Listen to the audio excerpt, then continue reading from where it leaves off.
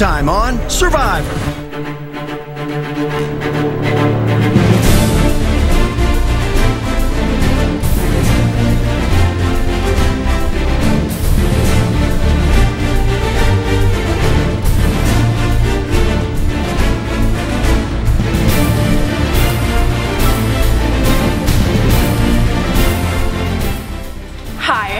Curtis. I'm 20 years old from Vancouver, Canada, and I'm a sports reporter and student at the University of Toronto.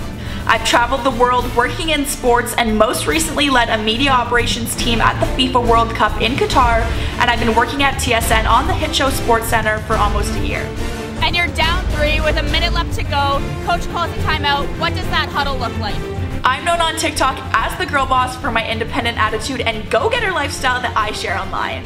I don't work a typical 9 to 5. I'm a 24 hour hustler and if power suits and pumps are your thing, you've come to the right person. I just don't take any negativity. I work hard, I'm driven, and I think that's why I've had the opportunity to experience so many different things at such a young age. Being a girl boss represents who I am and the person I want other people to look up to.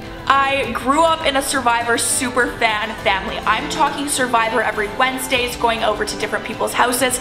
Wednesdays is Survivor night. So that's the family I grew up in. I was born during the middle of season six, which is insane. I haven't missed an episode since then. I've seen the evolutions of the Jeff Probst haircuts, and I've seen every season with Boston Rob you know it. This show needs someone like me. I'm not your typical Gen Z. I'm self-aware, I'm socially mature, always up for a challenge. I bring the energy and I make people take me seriously.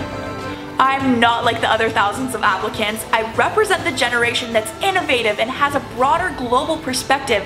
I bring a level of youthful maturity and spirit that this game has never seen before. I was an ambassador for my country. I've interviewed CEOs and professional athletes. I've hiked all across the West Coast. I don't waste a second of time in this life. And just think, I'm only 20, okay? I've been applying to the show since I was 16, okay? That's four casting videos. You're never gonna stop hearing from me. That means many more casting videos, many more emails, many more times of you hearing me talk about why I deserve to be on the next tribe. I'm Emmy Curtis, I'm the girl boss, and I'm ready to show you how I can outwit, outplay, and outlast on the next season of Survivor.